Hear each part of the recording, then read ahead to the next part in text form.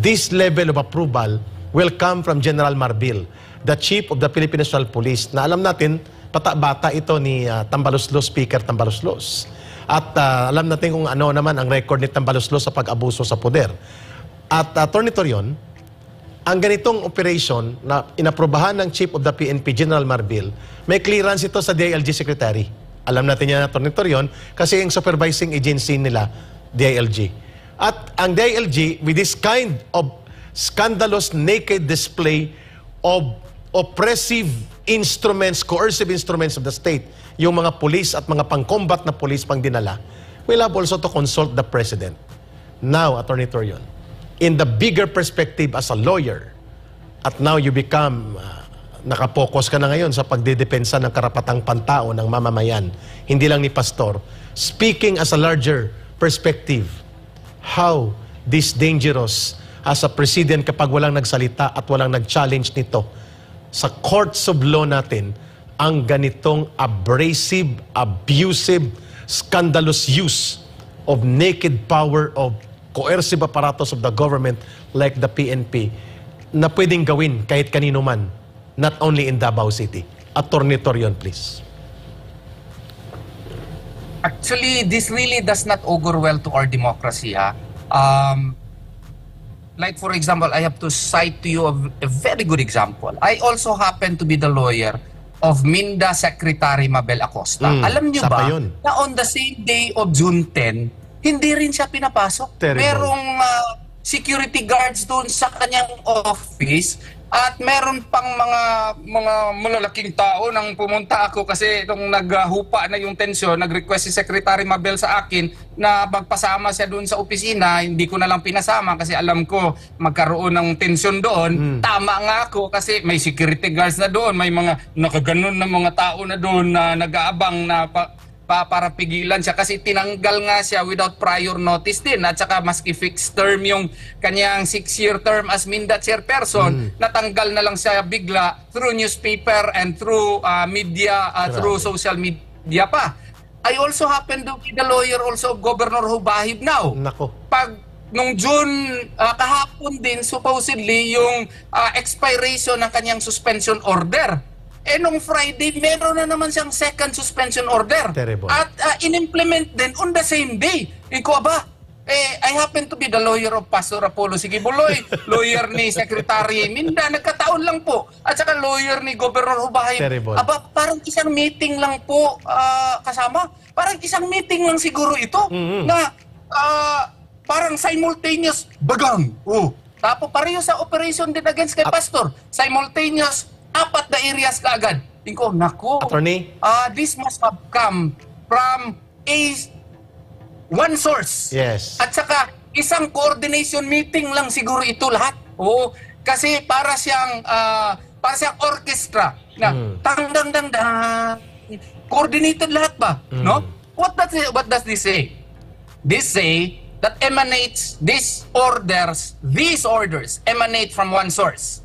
And this illegal execution and illegal rendering of certain orders likewise come from one source. And all of these violate due process. And any objective person would tell you really that this does not augur well to our democracy because uh, the right to be heard, the right to uh, uh, correct procedures to be followed before certain uh, edicts or warrants are implemented are not uh, complied with. So, uh, sana yung mga ating mamamayan ay magiting na, na ngayon na mag-aral at i-assert yung karapatan nila. Kasi kung nangyari ito kay Governor Hubahib, kung nangyari ito kay Minda Secretary Acosta, at kung nangyari ito kay Pastor Apollo C. Kibuloy, how much more kay Juan, Pedro, kay ah, Maria. Rebecca na mga ah, katabi ninyo or kapitbahay ninyo na iyak yapakan yung mga ah, karapatang pantao ninyo in the future. Ayun. So kailangan maging ah, magmamatyag tayo at i-assert natin yung ating karapatang pangtao. Ayun. Malinaw yung sinabi mo, Attorney Torion. Hindi pwedeng payagan natin si Marcos Jr. Sa kanya kasing responsibility nito eh. Although we have received information na ang nag-preside sa ganitong plano, although dinelegate na niya, but the responsibility and accountability rest with the President as he is the elected President of the country. Ang kanya mga alipores, ang isang lumalabas na pangalan dito, ay si Anton Lagdameo. Special Assistant to the President who has uh, a very uh, deep axe to grind against Governor Hubahib dyan at kina, uh, Congressman Bebot Alvarez sa area ng Davao del Norte. At gusto ring lumpuin ang mga Duterte. Ini- Sinasabi niya yan in many instances. Wala na mga Duterte, tapos ng panahon nila. Kami na ang namumuno ngayon at may hawak sa gobyerno. I'm talking about the Special Assistant to the President, Anton Lagdameo, na sinasabi niya, pag may humingi sa ayuda, may ayuda. Ang hindi humingi, di siyempre wala sa panahon ng baha. Can afford itong si Anton Lagdameo. Not elected ito ha. Ang uh, the only uh, credential that she has ay barkada ito ni Bongbong Marcos sa maraming pagkakataon ng pagsasama. At ang pangalawa niyang credential, asawa siya ni Don, Lagdame, ni Don Solweta. Kaya siya na, na-appoint dyan sa kanyang pwesto. So malinaw, Attorney Torion, that the command responsibility, wag na po na tayong pa- magpaikot-ikot pa. The command responsibility sa mga mamamayan, I will ask Attorney Torion, this is a command responsibility that points to the President kung bakit nagkakaroon ng political turmoil, breakdown of law and order, and unprofessional conduct of law enforcement and abuse of state instruments because the President is not in charge of the leadership of the government and someone or somebody and many others are taking the cue from him exercising powers which are not for them but being tolerated by the president. Ito mga tao at mga alipuris niya. Therefore, pananagutan pa rin niya. How do you look at that in the political perspective? At bilang isang mamamayang Pilipino, how dangerous are we going towards an undeclared full operation of martial law type government under Marcos Jr.? Um, there is a saying, no, ah, kasi I'm, may hearing kasi ako ngayong Thursday at nire-review ko yung Republic Act 9084, yung ah, procurement law at na-refresh ako yung Captain of the Ship Doctrine. no? Yes. Captain of the Ship Doctrine. Yo, we can also apply that by analogy here. No? Go. Although the proper uh, term would have been command responsibility or uh, another term. No? Uh, but it also really applies. Uh, we are in a ship here. Uh, we are a country uh, where the captain is supposedly directing the path uh, directing the uh, uh, uh, yung ating ruta, no? Tama. Kung saan po tayo pupunta. Pero ang nakikita ko po na ruta dito, parang ang daming liko-liko eh. Daming liko-liko na baka kailangan po natin ah, siguro sabihan yung ating Pangulo, ah, ah, Pangulo, ah, mukhang iba na po ata ang nangyayari dito. Ah, hindi na po karapatang tao po ang pinaiiral po natin. Ah, baka pwede natin na ah, ano, baguhin naman siguro ito habang maaga pa. Kasi kung hindi natin baguhin ito, baka you know all power emanates from the people. And the people may decide uh, in the future na, uy, baka pag-isipan din natin ito, baka pwede nating kunin ito. Pero it's up to the people, no? Um, we have to be reminded as public officers that all authority really are not from ourselves, but they are merely entrusted by the people for you to administer. So therefore, let us be cognizant of the fact that in the exercise of the power merely lent to us, no, um, the same should be exercised judiciously and with clear um, conscience that it is done in order to promote the general welfare. Klaro. So, ang nangyayari po dito, hindi na po ata general welfare po. Ah, there are indications to believe that all of these may have been done to perpetuate power. Ayun. Attorney Torion, before we let you go, kasi alam namin you have a series of meeting today and you have been into interviews since this early this morning. Napanood ko na po yung mga magagandang pagsasalita at mga pahayag mo at nadadagdagan ang kaalaman namin sa Pilipinas nating mahal every time you are with us sa program na ito. Attorney Torion, ah, this is not on you, this is on me. Nakakalungkot po that it took a former president pa na magsalita. sa ganitong paglapastangan, pangbabalahura sa batas, at pagbabaliwala sa mga karapatan at fundamental na mga garantiya sa proteksyon ng batas sa ating mga mamamayan at mga sibilyan na nangyari sa Davao City. We have not heard anything from the mayor, Mayor Basti Duterte. Kaibigan natin siya, but he has to be called out because he's the mayor. As mayor of Davao City, he should be leading his people to defend and protect them sa gitna ng abusado at napakadelikadong paglusob ng mga instrumento ng gobyerno na nangyayari sa gitna ng Davao City. Hindi natin narinig ang boses ng mga congressman like Congressman Polong Duterte, Congressman Ungab ng Davao City. Hindi natin narinig, Attorney Torion, ang boses ng pagkukondina, even in media kung walang session, ng mga senador nang galing sa Davao. Senador Bato de la Rosa, Senador Bongo, hindi natin narinig even ang boses ng Vice Presidente, Vice President Sara Duterte. I am not from Davao. I am from Iloilo City. Ang mga binanggit ko ay mga kaibigan natin. Why would it take for a former president na siyang magsasalita? Samantalang sila ang may mga kapangyarihan ngayon sa gobyerno. Even if you are not from Davao and member of Kingdom of Jesus Christ, you will really, really feel really, really insulted kung anong uri ng gobyerno mayroon ang bansang ito na parang wala na ng karapat, nawala ng karapatan ng lahat ng mamamayan. And the statement right now is shown. Attorney Torion, again, it's not on you kasi baka tawagan ka. Ano man yun, Attorney Torion? Sabi ni Ka Eric, wala kaming statement. And that is true. Hindi natin narinig ang mayor ng Davao City. Hindi natin narinig ang vice presidente na taga Davao City. Hindi rin natin narinig ang mga senador, dalawa dyan, si Bato de la Rosa at si Bongo at mga congressman. Why is everybody seems to be silent? Even the court. Attorney Torion, I cannot accept this. That this is our country right now. Please. Uh, I cannot speak for them, no? Pero in fairness to Mayor Baste, ah, siya po yung ah, nagtawag kay Attorney Kay Lorente kahapon, no? In order to diffu- ah, diffuse the tension. Kasi ako, 2.30 ah, in the morning na kasi ako nung ah, nakatulog. And then 3.45 sila ah, pumasok. Um, Siyempre, one hour pala ako nakatulog, hindi ka agad ako nakasagot dun sa mga tawag. Siguro dumating ako ah, medyo ah, huli-huli na, no? But in fairness to Mayor Baste, siya yung nag-advise sa ating lawyer na ah, as to what to do. And I think ah, he has a statement, baka hindi lang ata nabasa. Mhm, As to sige. the other public officers, they may have reasons also as to why. But I know that in their hearts, they are uh, um, they are against this uh, what you call this uh, invasive uh, this um, Under siege uh, ang Davao eh. Gestapo-like raid conducted by the yes the siege in Davao Gestapo-like raid Yes. uh, conducted by the PNP. Alam ko na sa kanilang puso uh, ayaw nila ito.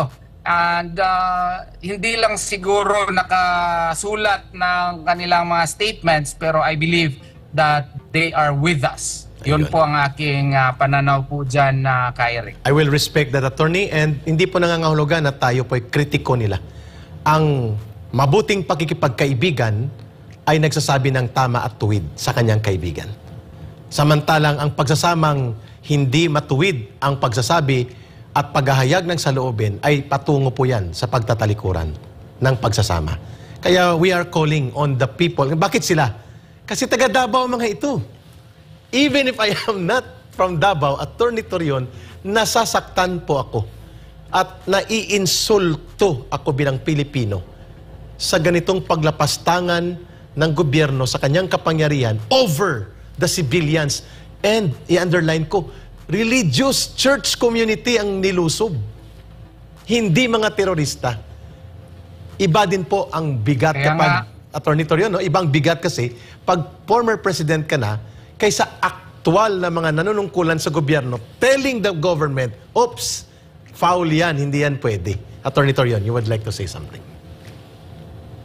Kaya nga gusto kitang kaibiganin ka Eric eh. Ah, maski hindi ka taga Davao, ah, grabe ang pang-defend mo. Yes. While I was watching the TV kanina, yung pinakita yung Glory Mountain, no? halos hindi ko mapigilan ang sarili ko, Yeah. mapaiyak ba, Mm. no? Eh, Yeah, I feel it. nakakahiya naman sa national TV at ah, mapaiyak ka.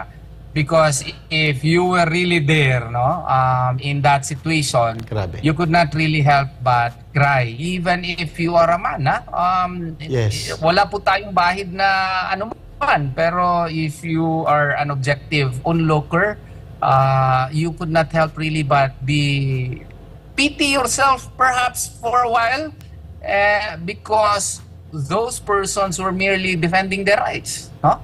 Uh, the home of a person is his castle. No? Yes. That's United States versus Arceo. Correct. However mighty a king may be, but in within the castle of a humble man, he is his king. Mm. That is what we teach our students that within his house, within his uh, within the uh, perimeters of his house, that is considered as his castle, and for all intents and purposes, he is king there.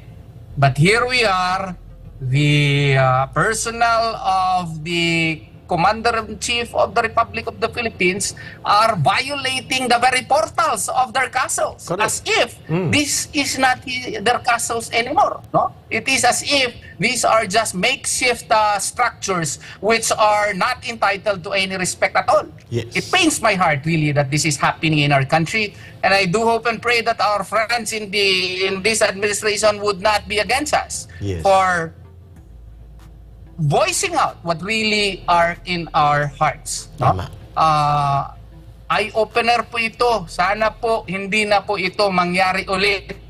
Ah, doon nga ako natulog ngayon sa compound po ka Eric. Mm. No? First time ko po naka, uh, nakatulog doon dahil po sa anxiety ng mga members na Grabe. walang abogado na nandun kasi yung uh, mga abogado natin, yung isa nandun sa Kitbog, Mm. nandun sa natutulog na doon sa Glory Mountain. So that parang may guidance po sila kung mangyayari na naman yon. Eh may nagsara yung kamkatitipan kahapon ng hapon. Mm. Ah, may pinag-uusapan daw, parang very important, na, na-post sa Facebook na may very important personality daw nandun na nag-emergency meeting. Eh yung mga members naman, nung nakita nung attorney, dito ka na matulog. Grabe. Eh, nagpaalam pa ako sa aking misis, eh, ma- ah, langga, doon daw ako matulog. Eh, wala na tayong magawa dito. Eh, tayo ang abogado. Eh, doon ako natulog. Maganda pala matulog din sa kingdom pala, Ah, Kay oo. Rick. Ang sarap ng tulog ko, alhamdulillah. Oo. Oo. Ah, kaya nga, ah, umuwi muna ako sa dali at naligo, kaya naabutan mo ako ngayon. Medyo bago akong paligo. Yes, okay. Kasi kanina, ang background mo, nakikita ko yung mga matataas na mga opisyal ng gobyerno na dumaan sa kay Pastor. Doon sa background mo, nakikita Yun. ko yung kanina nang in-interview ka. At alam ko, yun ay lugar na kung saan sila nakikipag-halubilo kina Pastor when Pastor was still a friend of the government. And Pastor, hindi nagkulang ito sa pagtulong sino man sa gobyerno pag lumapit sa kanya, anuman ang political affiliation when they come to Pastor in Kingdom of Jesus Christ. Alam mo yan, attorney, nakita natin yan, open ang Kingdom of Jesus Christ sa kanila. Nakakalungkot, na sanabi mo nga kanina, ah, nasasaktan ako, attorney, kasi mga pareho tayong tatay, mga ama tayo. Hinahablot yung bata, naiipit, sumisigaw ang nanay. Ang bata, ang anak ko, ang bata ko maipit.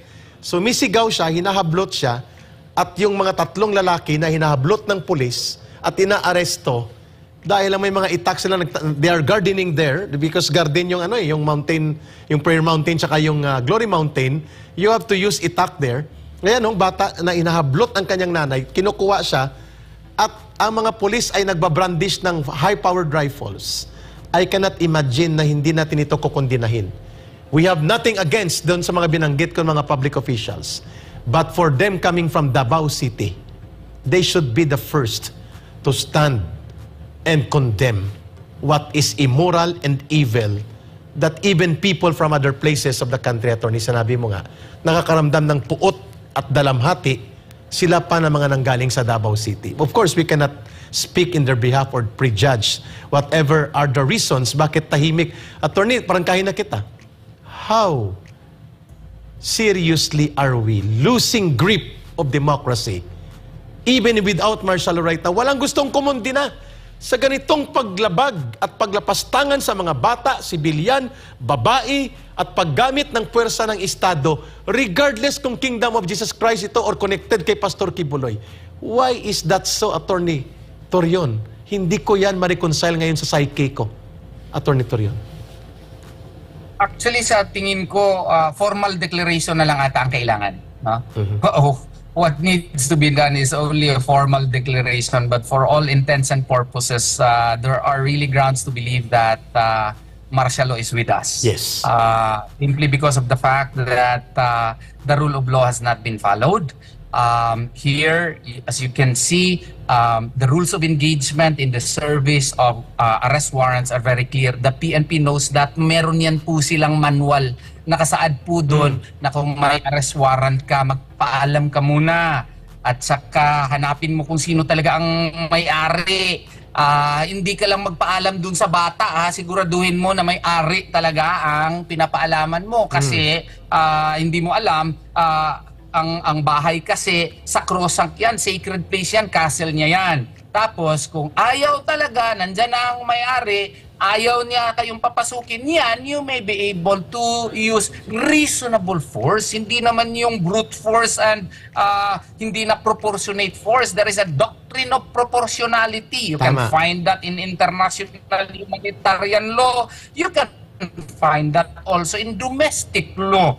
It ma- the force that has to be uh, exerted has to be directly proportional to the resistance, no? Correct. Eh, tingnan mo yan, no? ang daming mga army, ang, ang, ang, haba pa ng mga baril Terrible. na dala. So, uh, as to rule on proportionality, may violation na naman, no? Ah, mag-pray lang sana yung mga taga-SAF dyan na hindi mag-decide yung ah, mga ano, yung mga ah, kingdom authorities na hindi na mag-file ng kaso. Pero nagkukuha na po ng mga blatters, ng mga medical certificates po. Ang kulang na lang po ay yung go signal po, no?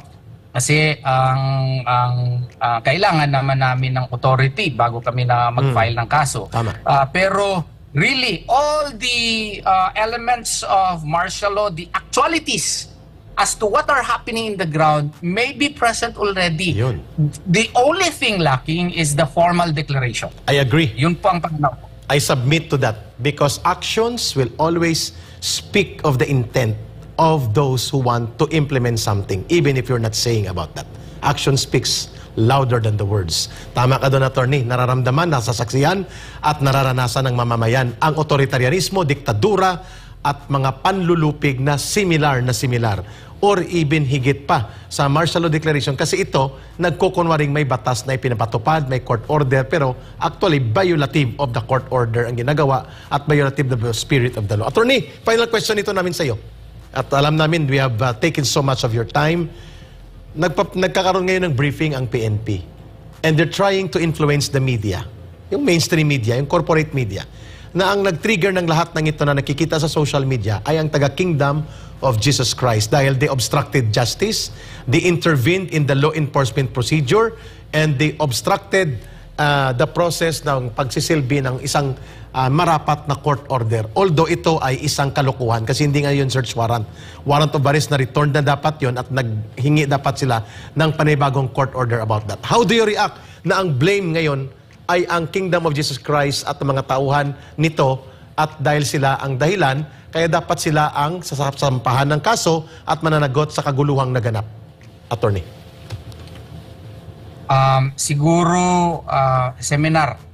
Pa-seminar siguro sila ng maigi para malaman nila kung paano ba talaga, ano ang batas dito at para ma-guide din yung Philippine National Police ah, sa ano at saka mag-seminar din siguro sa Republic Act 6713 on Code of Ethics Mm. of Public Officers, no? Ah, para malaman nila ay yung konsepto ng ah, professionalism, yung konsepto ng honesty, at saka yung ko- kon- ah, konsepto ng due performance of duty. No? Tama. Ah, and ah, I think this is what is really neat. At saka alam naman natin na yung Philippine National Police, they don't want to earn the ire of those who are in the levers of power. We understand that. But uh, professionalism would likewise require that they should also voice out their opinions if uh, certain matters are really um, on are Ill- illegal already no and uh, beyond the shades of uh, legality already. So, uh, sana si General Marbil uh, nag nag-ano pa tayo, nagbigay pa tayo ng cloud of doubt doon sa cancellation ng LTOPF kasi hindi nga siya lawyer, no? Kinansila, wala namang court order. Tama. Eh dito, nag-serve ng simultaneous uh, warrants of arrest uh, without prior consent, uh, in-entry yung uh, mga property, wa- violation of uh, proportionality rule at saka walang compliance with the requirements under Rule 113 Section 11, um, siguro Ah, kailangan na siguro tayo din na we also have the right to voice out our opinion on the matter. Ah, baka sir, ah, kailangan siguro dito ah, tibayin natin ang ating loob na kung ano talaga ang illegal, dapat isabi mo rin po sa iyong boss na, sir, baka masisira tayo nito. Tama. Ah, baka matatanggal ako nito. Ah, pwede bang ganituhin na? Mag-suggest ka rin. Huwag naman puro, ah, yes sir, yes sir, Mm, yes sir. Tama. ba- baka pwede ibahin mo rin yung taktika niyo, boss. Sabihin mo, boss, baka uh, you also present alternatives. Mm. Sir, there are three alternatives in order to implement what you wish. First alternative, ito po yung strength, ito po yung weakness. Tama. Present ka ng SWOT analysis. Ah, strength, weakness, ah, yung O at saka threat. O, Mm. Present mo, ito po yung tatlo. All of these would re- uh, would uh, re- be able to uh, attain your objective, sir. Uh, and the, the the third option may lessen our chances to be filed cases. So, um, pwede kaya, sir, na i-consider natin itong third option? Yung mga ganun, sir, ba? Para naman na walang kaguluhan dito sa ating republika. Kasi kung pipilitin nyo itong ganito, may tipping point. Yes. There is that book, no? Book yan na, what you call this? Um, tipping point. No? You may be very popular now, but if you continue the abuses that you are doing, somehow and somewhere, there might be a tipping point. Tama. And your popularity will no longer rise, rise, rise, rise, rise. It will only go down, down, down, down, down. I don't want to see that even if uh, I am not aligned with the present administration. I still do not wish that for the present administration. No? Because we live in the same ship, no? We inhabit the same ship.